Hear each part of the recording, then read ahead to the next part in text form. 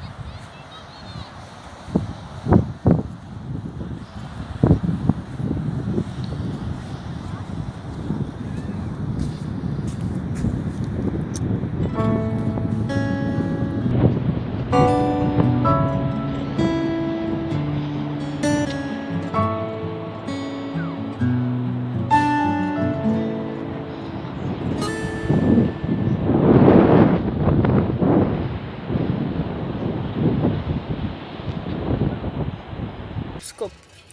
So the film will be on upside down for a little bit.